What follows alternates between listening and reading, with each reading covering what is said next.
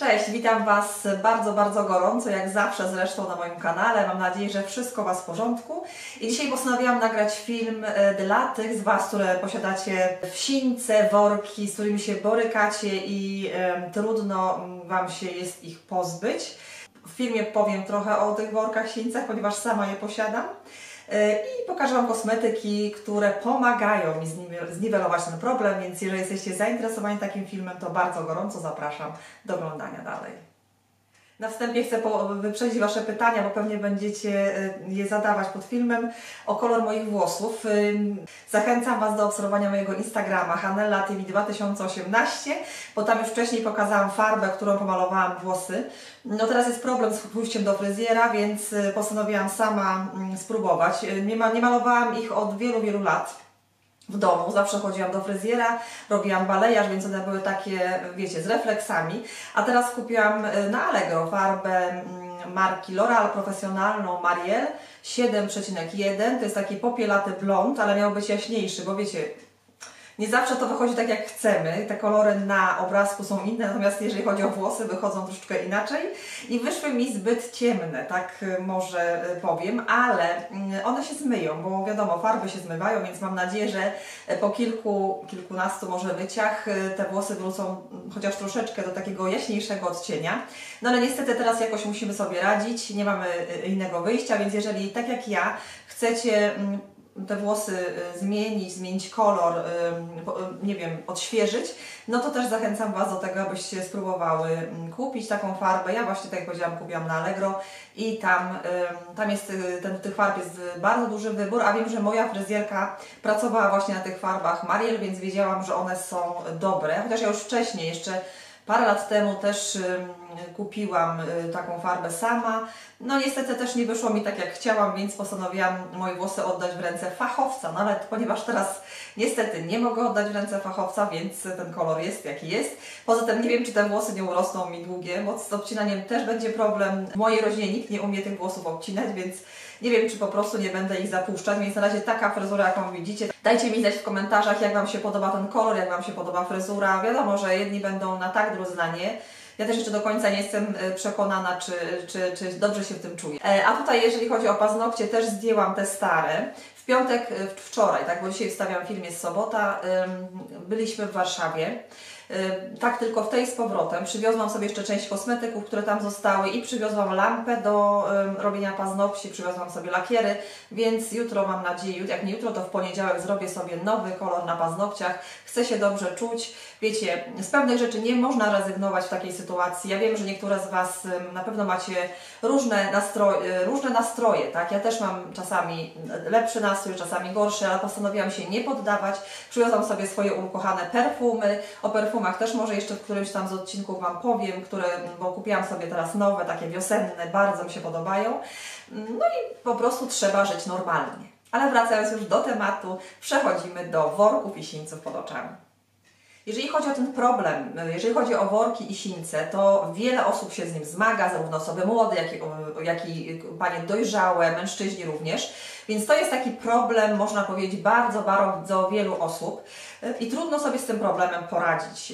Niektórzy mają same sińce, inni mają same worki, a niektórzy po prostu mają i sińce, i worki, więc to jest, to jest jakby taki podwójny problem, z którym borykamy się od, można powiedzieć, wielu lat. Jeżeli chodzi o worki, jeżeli chodzi o sińce, to można powiedzieć, że są to jakby dwa rodzaje. Pierwszy rodzaj to są takie worki, takie sińce, które pojawiają się sporadycznie u większości osób i one są spowodowane y, niewyspaniem, złą dietą, y, piciem małej ilości wody, czyli zatrzymywaniem się jakichś tam złogów powiedzmy w organizmie, mm, nie wiem, jakiś stresu, bo stres też, słuchajcie, jest przymierzeńcem właśnie tego typu problemów pod oczami, więc są różne problemy, które powodują, że te worki czasami u wielu osób się pojawiają.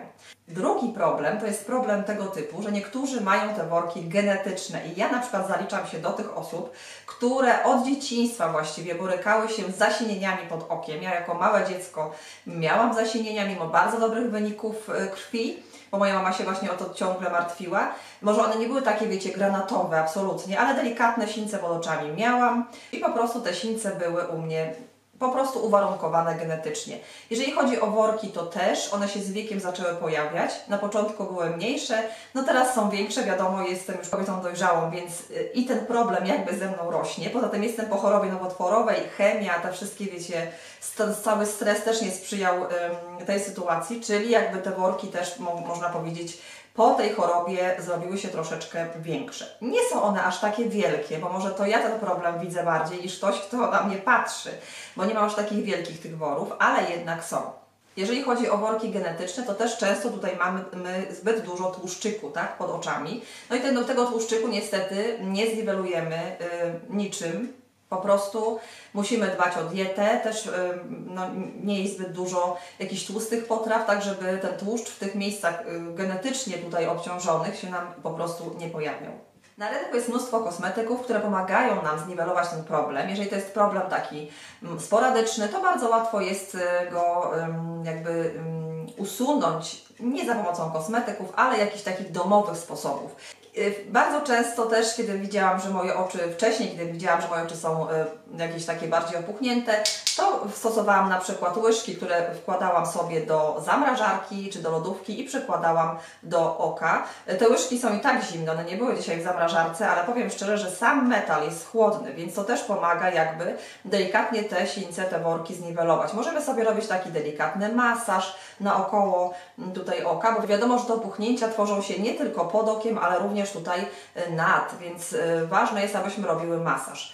Masaż też możemy robić w ten sposób, czyli od środka do zewnątrz i gdzieś tam odprowadzać jakby tę limfę. Tu musicie się nauczyć już tego masażu. Ja teraz dokładnie nie będę pokazywała, mm, jak to wygląda. W każdym razie odprowadzamy jakby to, co nam się nagromadziło pod okiem na zewnątrz, tak? I też y, masaż drugi, czyli od środka na zewnątrz, od zewnątrz do środka. Taką właśnie łyżką powodujesz, zimną oczywiście, powoduje, że y, też y, jakby to oko robi się bardziej wyspane, te sińce znikają, worki również, wiadomo, że chłód zmniejsza opuchliznę, więc taki sposób też jest bardzo dobry, jeżeli chodzi o ten problem.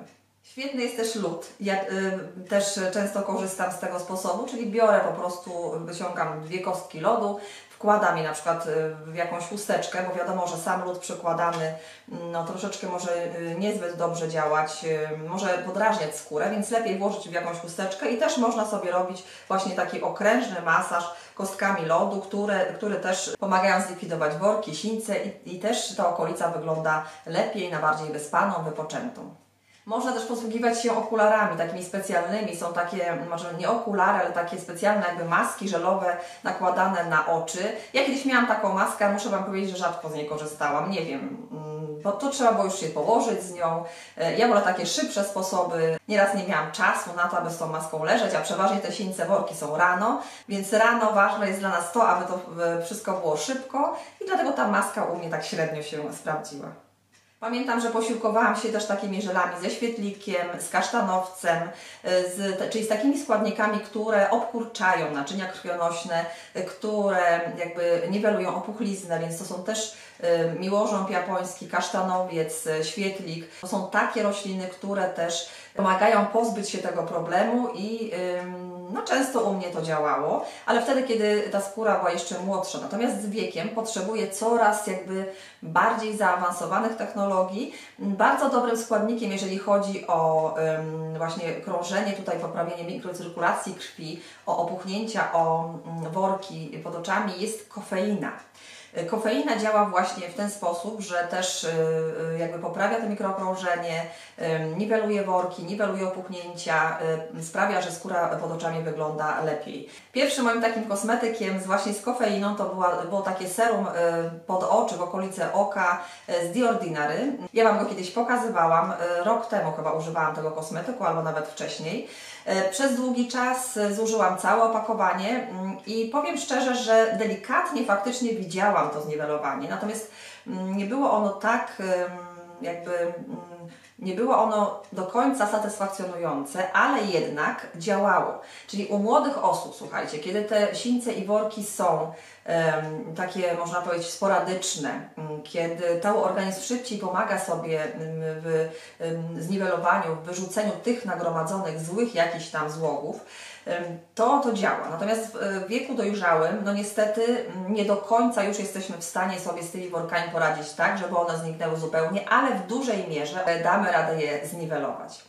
Tym problemie pomagają nam płatki kosmetyczne, y, takie sera specjalne, które też jakby liftingują skórę, y, które obkurczają naczynia, które mm, pomagają delikatnie jakby zniwelować worki. I to są właśnie płatki, których ja używam już od dłuższego czasu, czyli te płatki Petit Fi, które dają mi delikatne y, jakby zniwelowanie worków, ale też nie do końca. Ja chcę Wam tylko tutaj powiedzieć, że w genetycznej sytuacji niestety do końca ich nie zniwelujecie.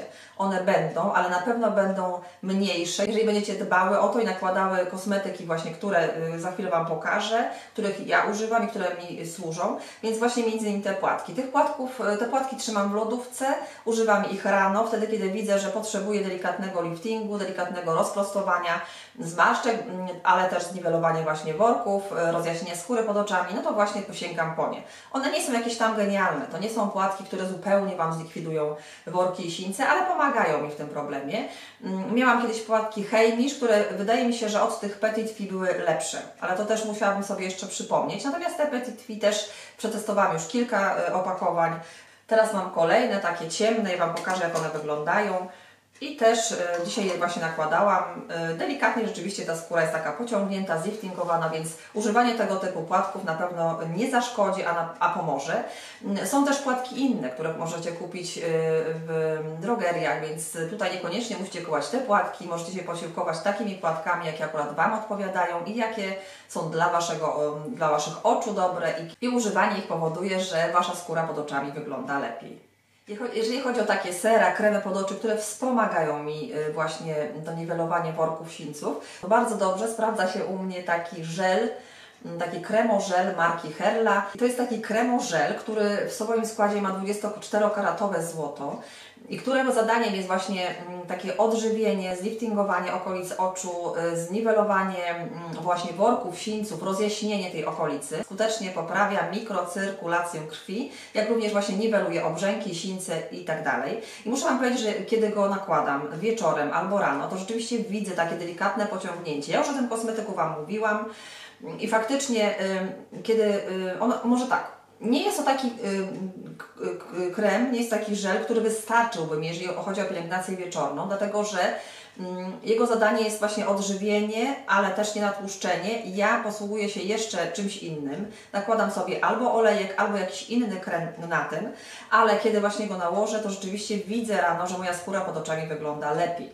Worki są mniejsze, sińce są mniejsze. Zresztą jeżeli chodzi o sińce, to kiedy używam tych kosmetyków, to praktycznie mam niewielkie właśnie większy jest ten problem worków, ale to tak jak powiedziałam, genetyka, niestety nic na to nie poradzę, ale wtedy właśnie, y, kiedy nakładam ten kosmetyk, to rzeczywiście skóra pod oczami wygląda lepiej, ona jest taka napięta, taka delikatnie zliftingowana i widzę działanie takie przeciwobrzękowe tego y, żelu. W składzie tu jeszcze jest taki y, syn Eik, to jest taki mm, składnik chemiczny, który naśladuje jad węża, który działa podobnie jak botox, właśnie rozprostowuje zmarszczki, ja się na tym nie znam, więc nie będę się tu wymądrzać. W każdym razie ten kosmetyk bardzo, bardzo dobrze mi się sprawdza. Tutaj chcę pokazać jeszcze krem, który może nie do końca jest kremem, który ma za zadanie właśnie niwelować worki i sińce. Jest to krem Madara. Te napisy już delikatnie mi się starły. W każdym razie y, bardzo dobrze mi się go używało. Ten krem mi się już skończył. Jest to e, krem przeciwzmarszczkowy, taki też rozjaśniający, e, krem odżywczy. Bardzo dobrze mi się sprawdzał na noc i często robiłam tak, że ten Herla, na przykład ten żel nakładałam e, najpierw, a na to nakładałam właśnie ten krem i byłam z tego efektu bardzo, bardzo zadowolona. Także jeżeli chodzi o krem pod oczy, to świetnie mi się sprawdzał. I mogę Wam polecić, jeżeli chodzi o odżywienie, o takie natłuszczenie, o takie no, dobrą kondycję skóry pod oczami, to on był naprawdę świetny. Kolejnym kremem, który też y, niweluje worki, niweluje sińce, właśnie te obrzęki, to jest krem marki Senelle i to jest ten krem korygujący. Ja Wam mówiłam o, y, już o tym kremie, bo ja już go sporo zużyłam. Zobaczcie, u mnie to już jest takie spore zużycie. Mówiłam Wam o tym optymalizującym, że według mnie jest lepszy, jeżeli chodzi o natłuszczenie, natomiast, natomiast ten jest bardzo dobry, jeżeli chodzi właśnie o ten problem korygujący, czyli worki, sińce. On z tym też bardzo fajnie sobie radzi. I kiedy go nałożę, to rzeczywiście Delikatnie ta moja skóra jest bardziej taka mm, też zliftingowana, bym powiedziała. Bardzo fajnie działa u mnie ten krem, jestem z niego zadowolona, ale na noc jest dla mnie niewystarczający. Jeszcze sobie dokładam na przykład jakiś olejek, więc tu też mam taki krem niewystarczający, to posługuję się olejkiem. Mam tutaj olejek marki Mokosz, to jest ogórek. Tego olejku jest 12 ml, on jest naprawdę, mm, można powiedzieć, nie do zużycia, dlatego że zbyt dużo tego nie nałożycie. Niestety olejek może się okazać, jeżeli nałożycie zbyt dużo, to może się okazać, że wejdzie gdzieś tam do tych worków tutaj mm, do spojówek i to wręcz odwrotny skutek przyniesie. Dlatego tego używam w minimalnej ilości, ale też jest to kosmetyk, który mm, jakby liftinguje, który powoduje y, zminimalizowanie worków, zminimalizowanie sińców, y, który poprawia właśnie gęstość skóry, strukturę tej skóry, więc też takiego, tego typu kosmetyków warto używać. W swoim składzie ma mnóstwo olejków, y, skwalan, ma również kwas hialuronowy, czyli takie właściwie składniki, które pozwalają odżywić skórę, jednocześnie napiąć ją, delikatnie zliftingować, więc warto też tego typu kosmetyków używać, jeżeli macie problem z workami bądź z sińcami. W minimalizowaniu worków i sińców też pomagało mi takie serum. To jest serum bardzo tanie, Ecolab. Ja już Wam pokazywałam, to jest serum zdemkowane. Oczywiście opakowanie zostawiłam, żeby e, Wam pokazać. E, no, noszę się z zamiarem, że może jeszcze kupię. Na razie mam kosmetyki, których, e, które muszę zużyć, więc myślę, że powrócę, ale jeszcze nie w tej chwili. I to też było, był kosmetyk, który delikatnie liftingował, który delikatnie jakby niwelował mi te worki sińce. Czyli ten lifting też powodował, działanie takie liftingujące, takie napinające powoduje, że te sińce, te worki też wydają się mniejsze, więc tego typu kosmetyków, właśnie takich serów liftingujących też warto używać. Najnowszym moim odkryciem jest to serum, które pokazywałam Wam marki Basic Lab, która robi bardzo dobre kosmetyki z bardzo dobrych składników, więc y, nie obawiajcie się ich. W każdym razie mam tutaj serum, które mm, nie jest takie gęste, bo to jest serum takie bardziej wodniste. I w składzie z tego serum są peptydy, są, jest kofeina, która jest też bardzo dobra, właśnie Wam wcześniej o tym powiedziałam, jeżeli chodzi o tego typu ym, problem.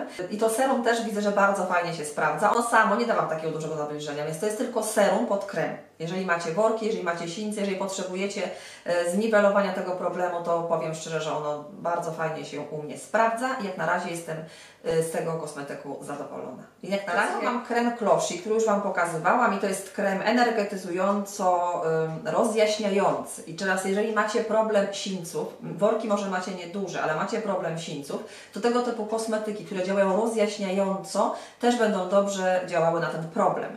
Mm, ja powiem szczerze tak, to jest um, fajny kosmetyk, to jest naturalny kosmetyk, natomiast on u mnie na noc jest, um, powiem szczerze, niewystarczający. Jeżeli go nałożę, to jeszcze coś na to muszę położyć. Rano um, nakładam, ale też ja często tak robię, że mieszam kosmetyki. Czyli jeżeli chodzi o ten kosmetyk, on jest fajny, on jest super, natomiast dla osób młodszych tak, natomiast dla osób w bardzo dojrzałym wieku Mm, wydaje mi się, że troszeczkę za słaby. Czyli mogę go polecić tym z Was, które borykacie się z problemem sińców, ale dodatkowo jeszcze mm, jakby na noc trzeba coś sobie dołożyć. O tak, na dzień może być, natomiast na noc nie do końca mi y, wystarcza. Bardzo dobrym kremem, którego właściwie już nie mam. Zostały mi dwie saszetki, tu znalazłam w wiejskim domu. Był krem marki Pink and Cure. To jest krem taki w saszetkach. Ja Wam pokazywałam też już wcześniej go w takim granatowym opakowaniu. Taki krem zbity, gęsty i tego kremu jak używałam też widziałam jakby delikatne zliftingowanie skóry, niwelowanie worków. Rano jak wstałam nie były takie jak na przykład po nałożeniu innego kremu. Także jeżeli chodzi o ten problem worków, sińców, to też wydaje mi się, że jest to krem, który pomaga i sprawia, że skóra pod oczami wokół oczu wygląda zdecydowanie lepiej. I ostatnim kosmetykiem, o którym chcę powiedzieć, to jest krem marki Jadach. I to jest krem, który również jest takim kremem zbitym, kremem gęstym. On w swoim składzie ma um, czerwony żeńszeń, też takie składniki, które pomagają rozjaśnić skórę pod oczami. Um, no i też polecam go właśnie osobom, które borykają się właśnie z sińcami dlatego że on um, pomaga rozjaśnić, pomaga zniwelować ten problem. Natomiast powiem tak, y, on mi się wydawał taki mocno treściwy, ale też y, nie zawsze jakby się sprawdza pod moim okiem. Ja jeszcze na koniec powiem Wam o jednym problemie, który, z którym tutaj się borykam w tym wiejskim domu, właśnie z przesuszeniem mojej skóry. I teraz wszystkie te kosmetyki, które mam, które wcześniej sprawdzały mi się idealnie, nie zawsze mm, do końca mi się sprawdzają. Dlatego, że tak, tutaj palimy y, kozą, niestety, do, dogrzewamy się, bo ten domek nie był przygotowany na takie mieszkanie mm, y, zimą non-stop. Y, No i niestety y, jesteśmy tutaj od ponad dwóch tygodni i skóra mojej twarzy, i skóra pod oczami wydaje mi się, że wygląda na taką delikatnie mówiąc bardziej przesuszoną. Także to wszystko niestety, y, tych wszystkich kosmetyków muszę używać troszeczkę więcej, muszę nakładać nawet dwa, dwa kremy naraz, tak żeby, y, żeby ta- skóra się nie przesuszyła, właśnie tego się obawiam. Także to też może być skutek, słuchajcie, tej mojej tej kwarantanny, tego siedzenia w wiejskim domu, że ta skóra będzie wyglądała na bardziej przesuszoną niż była. Czyli stosuję tutaj różnego rodzaju mgiełki, ym, no, toniki, wiadomo, nakładam wszystkie kremy i to wszystko, co nakładałam. No, ale, ale z tym problemem niestety na razie będę się borykać, póki nie przyjdzie lato i przestaniemy palić yy, w kominku. To wtedy myślę, że wszystko wróci do normy. I to już wszystko, moi kochani, co chciałam Wam powiedzieć w dzisiejszym filmie. Mam nadzieję, że się podobał. Dajcie łapkę w górę, jeżeli tak, subskrybujcie kanał, bo będziecie ze mną na bieżąco. A ja już się z Wami żegnam cieplutko. Do następnego filmu. Trzymajcie się. Cześć!